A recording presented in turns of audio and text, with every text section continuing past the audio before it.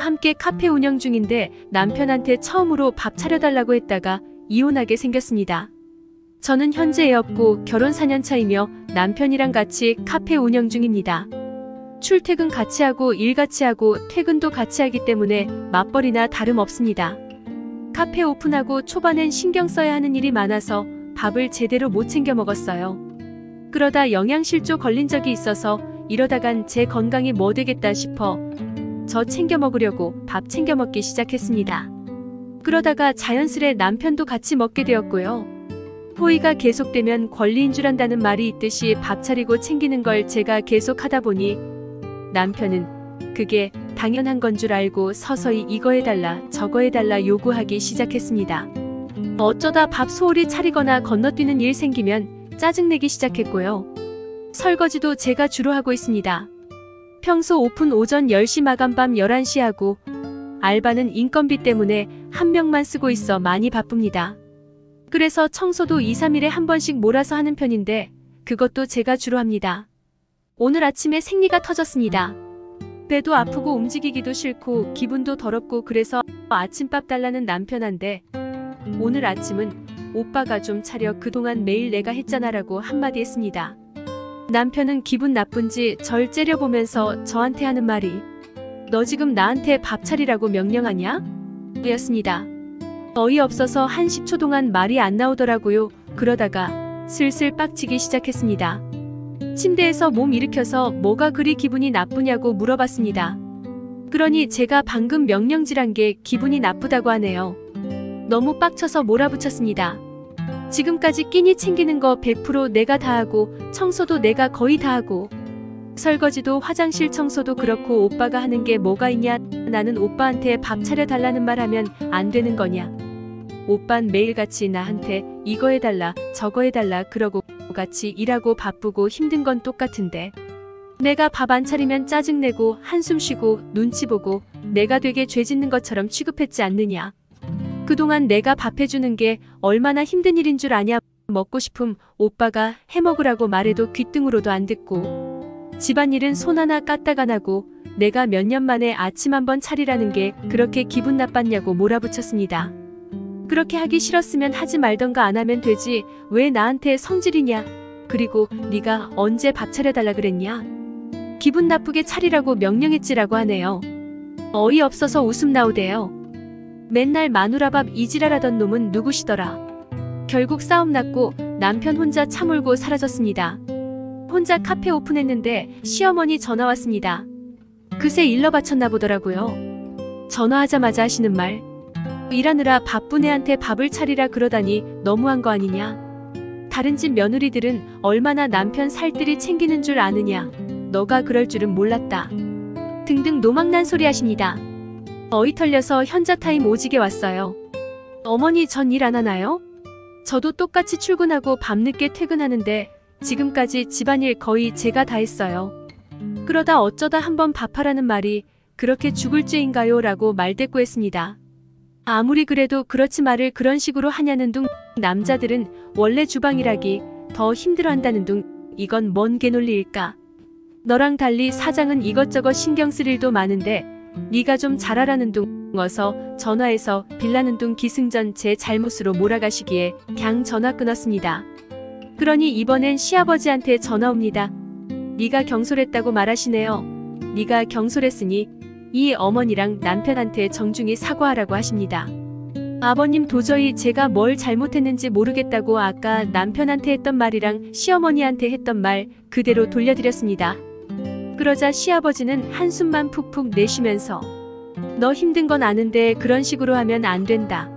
어디 며느리가 시어머니한테 그런 식으로 버릇없게 대하냐. 그리고 남편도 내가 좋게 말했으면 그렇게 반응했겠냐며 또 내 탓 기승전 제 잘못으로 몰고 가십니다. 너무 어이없고 화나고 기분 더럽고 감정 컨트롤이 안 돼서 너만 부모 있냐 나도 부모 있단 심정으로 울 엄마 아빠한테 전화해서 남편이 그랬던 것처럼 그대로 다 까발리고 화장실에 앉아서 울고불고 했습니다. 울 부모님이 남편한테 전화해서 한 소리 하셨는지 남편 전화 와서 소리 고래고래 지르고 난리가 났습니다. 하루아침에 집안이 뒤집어졌어요. 막막하다기보단 오히려 속이 시원했습니다. 솔직히 지금은 이혼 생각까지 하게 되네요. 대화로 풀어질 것 같지가 않아요. 3시쯤 남편 카페로 왔습니다. 이 상태로는 도저히 장사같이 못할 것 같아서 알바한테 혼자 카페 맡을 수 있겠냐고 물어보고 차 안에서 얘기했습니다. 남편이 적반하장으로 굳이 그걸 처가에 말했어야 되냐고 합니다. 그럼 오빠는 왜 말했냐? 먼저 일러 바친 건 오빠 아니냐? 시부모님 전화 오셔서 나한테 뭐라 했는 줄 아냐고 말하니 자긴 일러 바친 적 없다고 해요. 화나서 부모님 댁에 밥이나 먹을 겸 갔는데 가게 열어야 할 사람이 여기 왜 왔냐고 물으셔서 처음엔 그냥 대답 회피하다가 계속 말해보라고 캐물으셔서 하나둘씩 대답하다 보니 그렇게 된 거라고 합니다. 그러면서 하는 말이 물으셔서 대답한 거랑 너처럼 아예 맘먹고 일러 바친 거랑 같냐고 따지네요. 아침밥 문제도 그렇다. 네가 말을 예쁘게 했으면 내가 그랬겠냐. 너 말할 때 얼마나 기분 나쁘고 싸가지 없이 말하는 줄 아냐고 제가 가 잘못한 것 마냥 말을 하더라고요. 너무 화딱지나서 저도 맞대꾸했습니다. 그러는 오빠는 나한테 밥 맡겨놨냐? 내가 밥 해주는 사람이냐? 야밥 이렇게 말할 때마다 얼마나 짜증나는지 아니야 결혼하고 단 한 번도 네 손으로 밥해 먹은 적도 없고 차려준 적도 없으면서 내가 밥상 조금만 부실하게 차리면 짜증내고 일부러 틱틱거리고 한숨 내쉬고 내가 전업주부냐 나는 일안 하냐 나도 하루에 13시간 일하고 일주일 내내 휴일 없이 일한다 애가 없으니 버티는 거지 나 애까지 있었으면 너무 힘들어서 과로사 했을 거다 11시에 마감하고 집에 돌아와서 이것저것 하다가 새벽 1시에 잠들고 다음날 9시 반까지 또 가게 나가고 그러면서 밥하고 집안일 하는 게 쉬운 줄 아냐. 카페 차리고 나서 내 소원은 단 하루만 좀 쉬어보는 거다. 설거지 좀 해라. 청소 좀 하자. 아무리 말해도 그냥 놔두라고 하고 결국 다 내가 하게 하고 오빤 내가 안쓰럽지도 않냐고 울면서 말했습니다. 한참 동안 대답이 없었어요. 그러다가 하는 말이 원래 자영업이 힘들 거란 건 알지 않았냐. 그 정도 힘든 건 다 똑같다고 합니다. 요즘 불경기라 자영업자들 다 힘들다고요. 이게 뭔 개소린지 지능이 퇴화돼서 내가 하는 말을 못 알아듣는 건가 싶었습니다. 사람이 너무 어이가 없으면 웃음도 안 나오대요. 그게 그렇게 죽을 만큼 힘들어? 그럼 하지마 누가 하라고 등 떠밀었냐 안 하면 되잖아 하지마. 이러길래 밥은 사 먹는다고 쳐도 집안일 손 놓으면 누가 하는데? 집 쓰레기장 돼도 그냥 놔두라고? 이렇게 물었습니다. 그러니까 남편 하는 말이 마감 타임에 한 3시간쯤 알바 한 명 더 고용할 테니 일찍 퇴근해서 저보고 하라고 합니다. 나쁜 새끼가 죽어도 지도 집안일 같이 하겠다는 말은 안 하네요. 일찍 퇴근하게 해줄게 그럼 덜 힘들 거 아니야 이러는데 진짜 이 새끼 뭐지?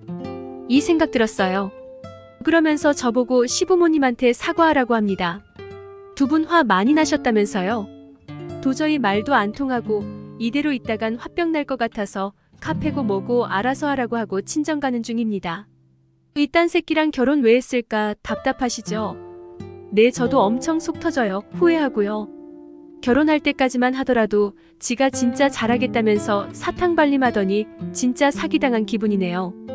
솔직히 근 3년간 하루 13시간씩 일하면서 그것도 3년 동안 쉰 적이 10번도 채 안 되는데 그렇게 일하면서 사이가 많이 멀어진 거 사실이에요. 너무 가게에 묶여있고 여유가 없다 보니 그렇게 된 게 당연하겠죠. 하루하루 힘들고 지쳐도 좀만 더 버티면 괜찮겠지 싶었는데 결국 이렇게 터지고 말았네요. 친정 도착해서 친정 부모님이랑 진지하게 이혼 문제 얘기해 볼 겁니다. 저도 이대로 계속 결혼 생활하는 건 미친 짓이라고 생각합니다. 의상 오늘의 사연이었습니다. 감사합니다.